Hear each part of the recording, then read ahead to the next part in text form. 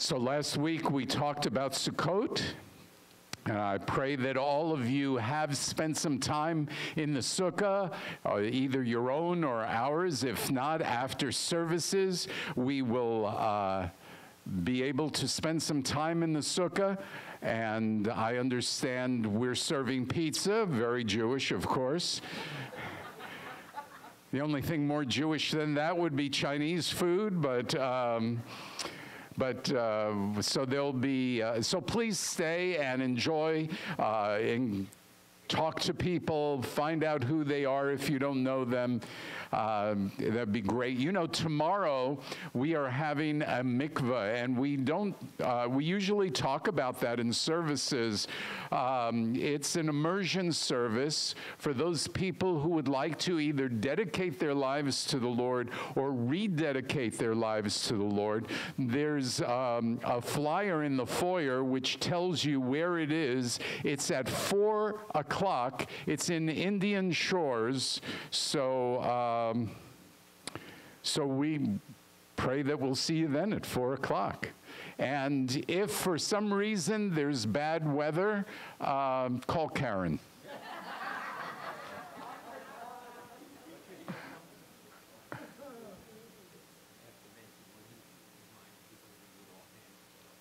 And after the men's and women's uh, fellowship and eating, we're asking you to help uh, take down the sukkah so it'll happen very quickly. Um, so if you're strong, even if you're not, feel free to stay. And it'll look, it's a lot of fun to take down the sukkah as well and, and put the uh, various fruits and decorations into the box so we can use them again next year. All right, so as you know, today is the last day of the fall appointed times. I love this season because I just sense the closeness of God in a way that uh, maybe no other time in the year for me.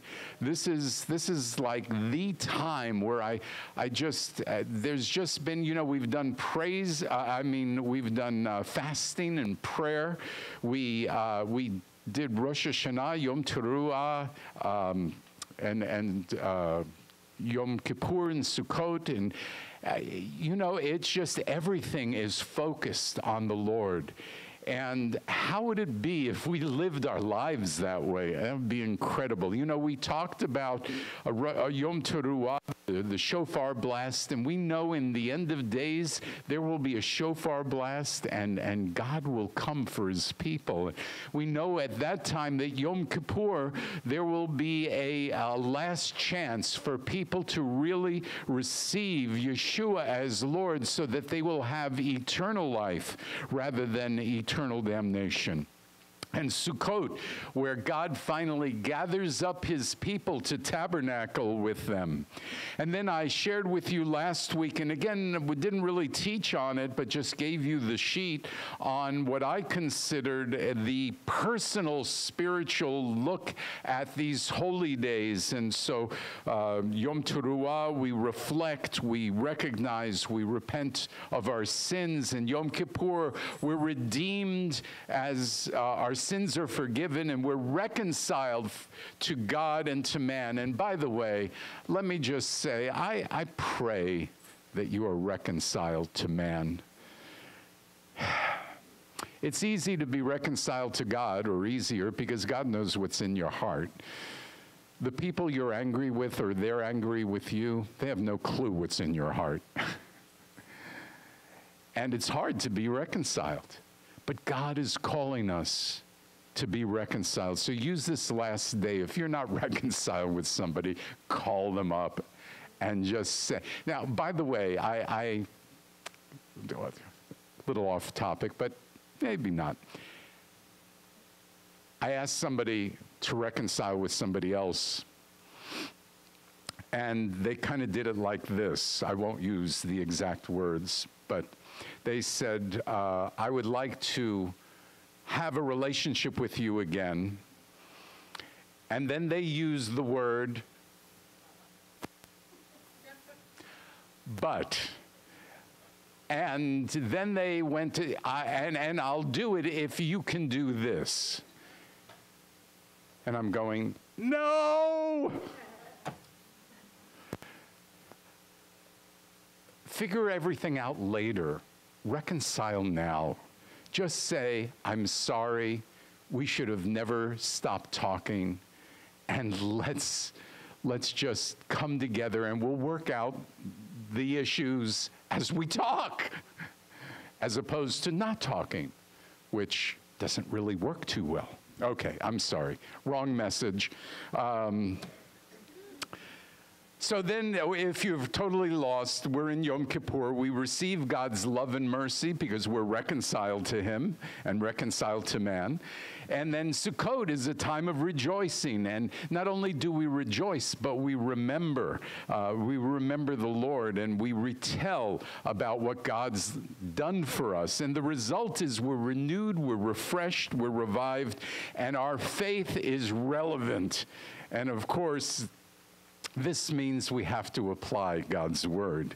So let me go to a little bit of uh, Shemini Atzeret, which is the eighth day. And you, as I mentioned, it's taken from Leviticus 23 and Numbers 29, verse 35. It says, On the eighth day there shall be for you an assembly. You are to do no regular work. And uh, by the way, taking down the sukkah is no regular work because you don't regularly do that. So feel free to not feel you violated God's word. Just want to help you out here. Now, actually, the word atzeret, um, uh, it does not mean day. One would think it would in the way we use it in the English, but it actually means a meal or a festival. And so sometimes the rabbi's interpretation of this language uh, makes you think that they want Sukkot to linger like uh, another meal or something. Um, but I prefer this, this thought uh, having to do with how the rabbis look at things. Uh, the word atzeret comes from atzar, which means to collect or to store. And the rabbis spoke about the purpose of this day was to collect or store our memories of everything that happened from Yom Teruah or Rosh Hashanah through this time period. I love that thought.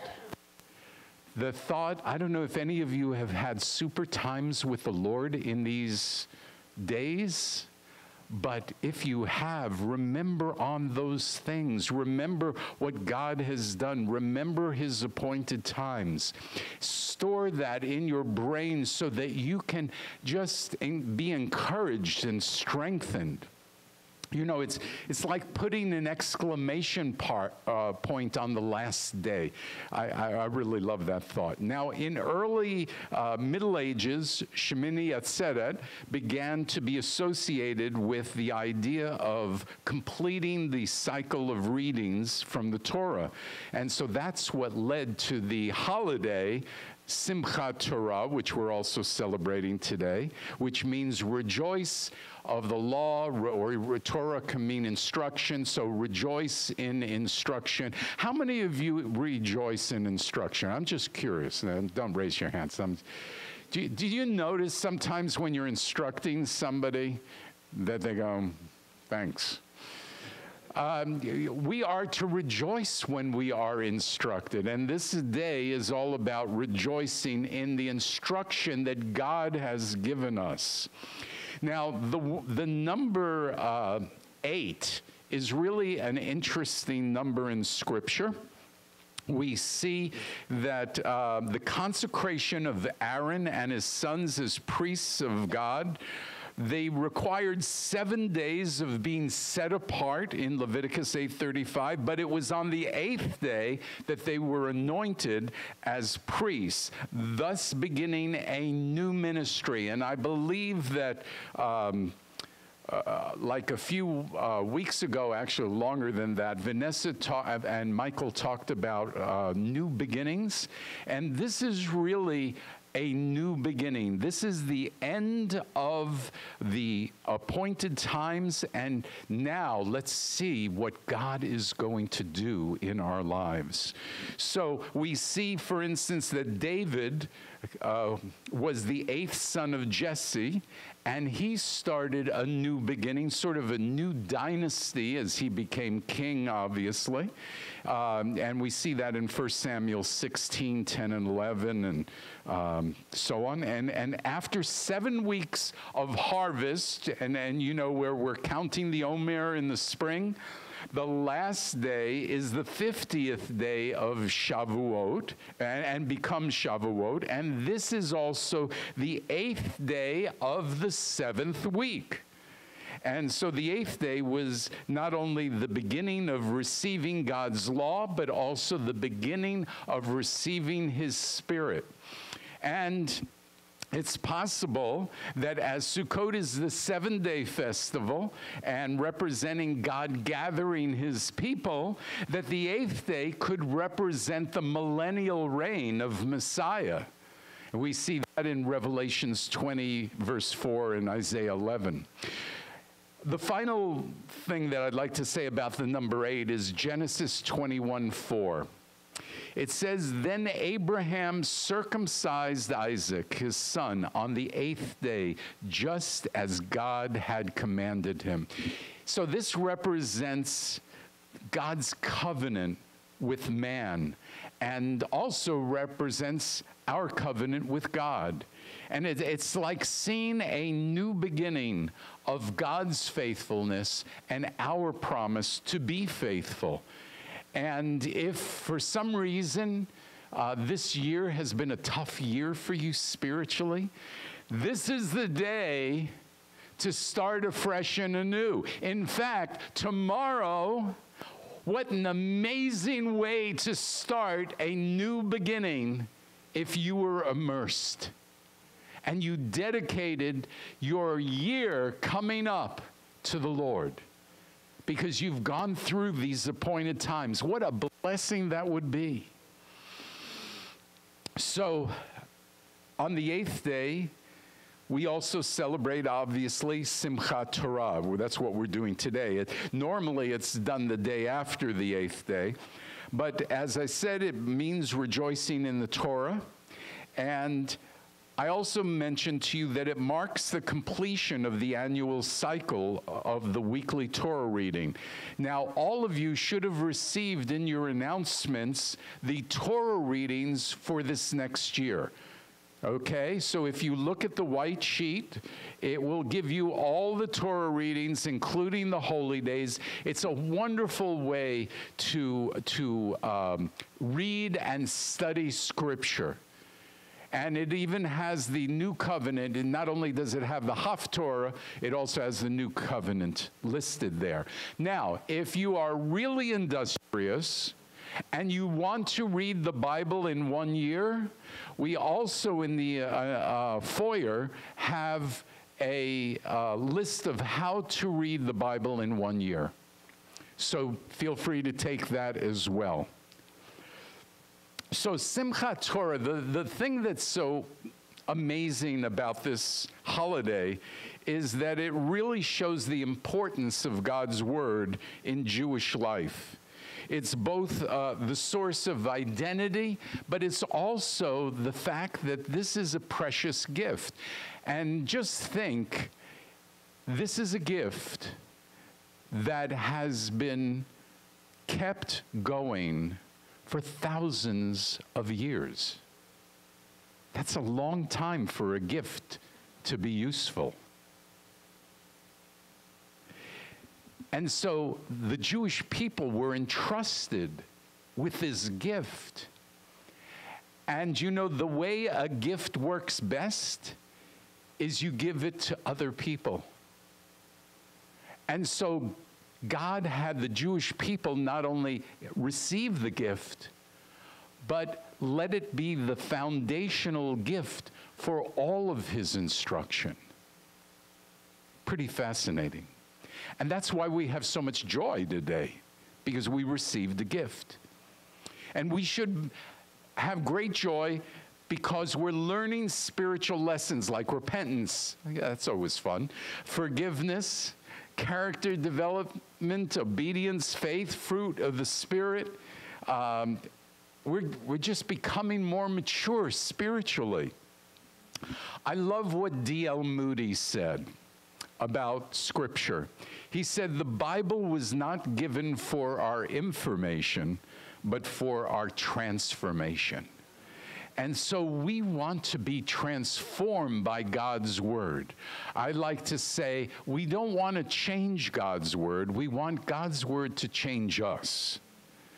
When I think of transformation, I think of the one who transforms us, and I always want to read Yochanan, John 1, during Simchat Torah. It just, for me, it just works.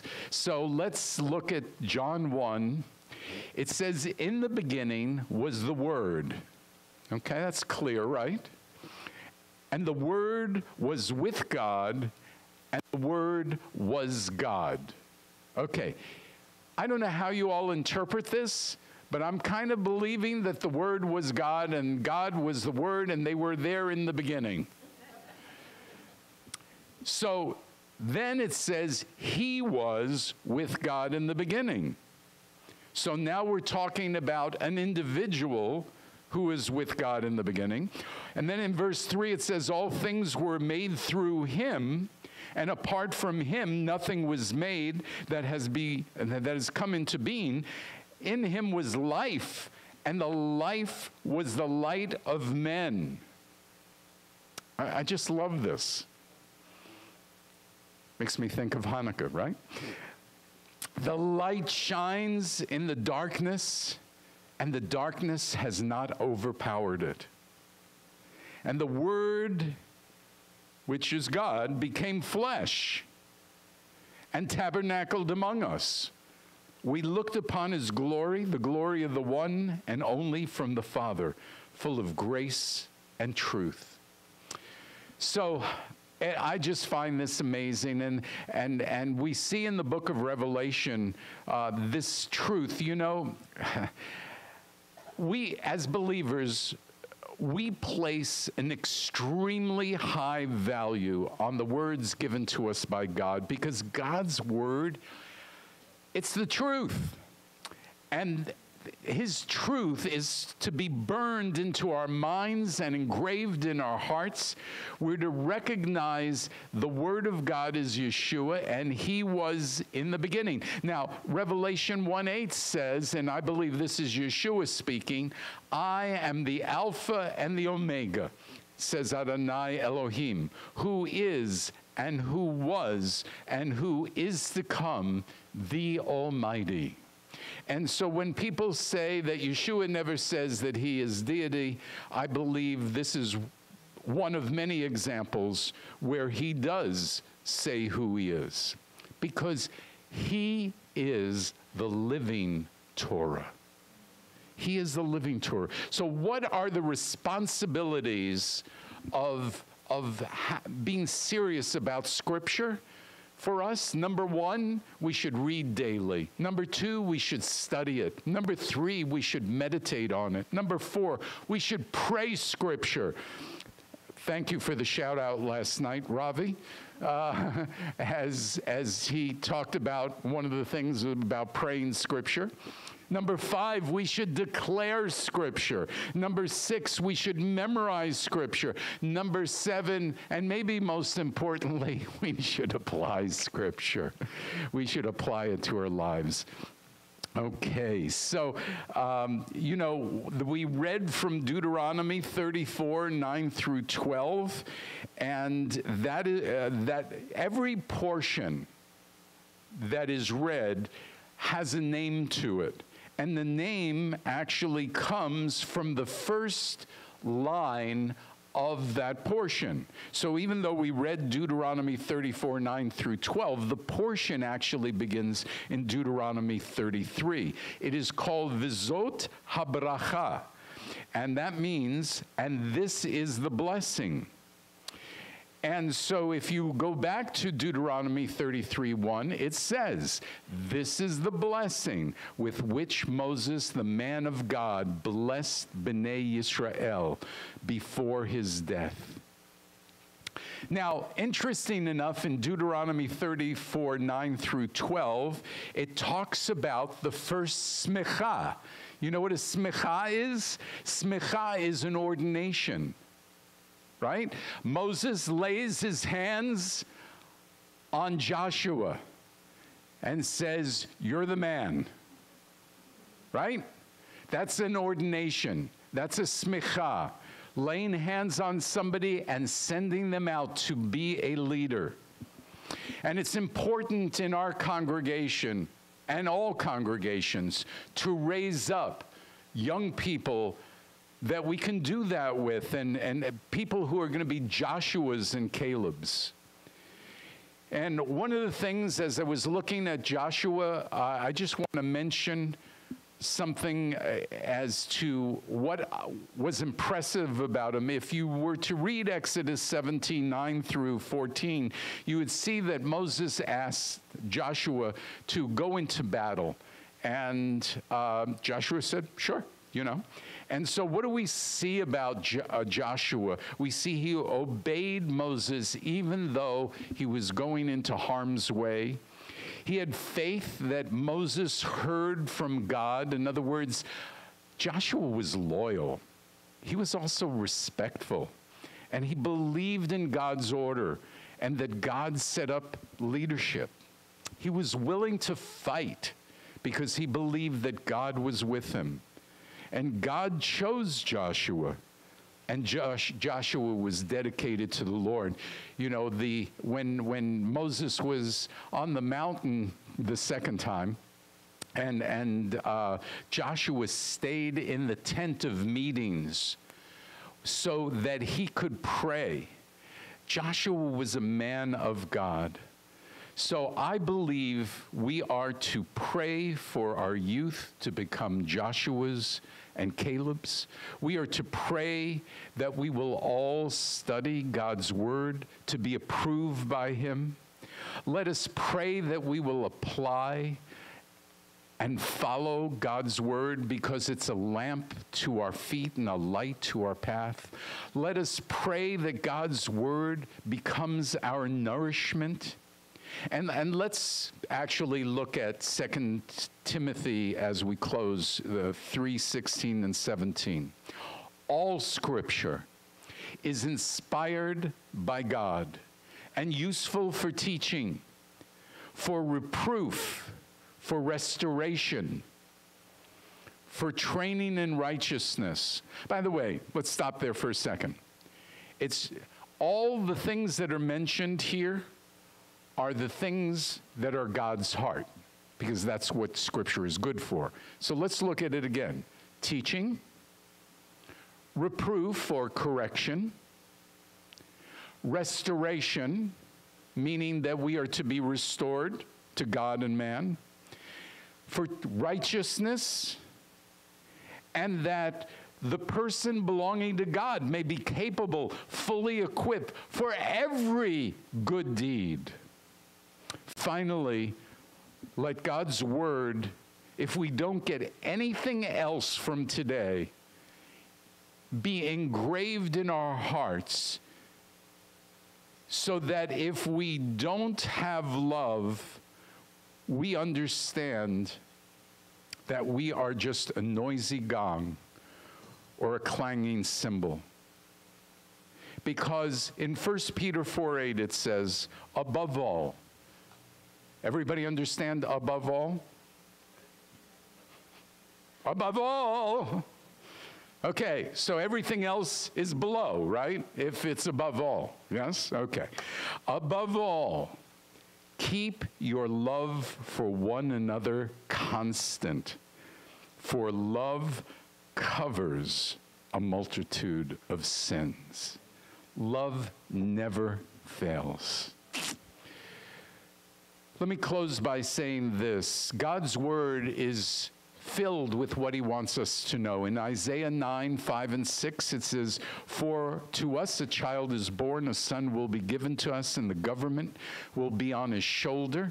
His name will be called Wonderful Counselor, Mighty God, my Father of eternity and Prince of Peace. So we understand that this child will be born and he becomes the mighty God. And then it says, of the increase of his government and the peace, or shalom, there will be no end on the throne of David and over his kingdom to establish it and uphold it through justice and righteousness from now until forevermore. How long is forevermore? Forevermore, yes. The zeal of Adonai Tsevaot will accomplish it, which means that this, this child, his righteousness goes forth into eternity. Now, who is this child? Isaiah 53, 5 and 6 says, But he was pierced because of our transgressions, crushed because of our iniquities. The chastisement for our shalom was upon him, and by his stripes we are healed. We are all like sheep, we have gone astray. Each of us have turned to his own way so Adonai has laid on him the iniquity of us all. I believe the one who who's taken our iniquity is clearly Yeshua. So, if there's anybody here who has not received Yeshua into their life, or there is anybody listening on Facebook Live who has not received Yeshua into their life, follow God's word. We're talking about today, we're talking about God's word on Simchat Torah and what his word says. And here in the Hebrew scriptures, as we looked at Isaiah in two different portions, it is clearly about Yeshua, the Messiah Messiah. So follow God's word and receive Yeshua as Messiah. Just say, I repent, I'm sinned, I'm sorry. I believe Yeshua is the atonement, he is the atonement for my sin. I receive Yeshua as my Lord of my life and I dedicate my life to him and say those words. And when you say that from the bottom of your heart, you are a child of God's. So I'd like to end my portion of this service. Let's uh, do one worship song, maybe The Blessing. Thank you, my dear. We're ready. So come right up. First Chronicles 22 19. Say it with me.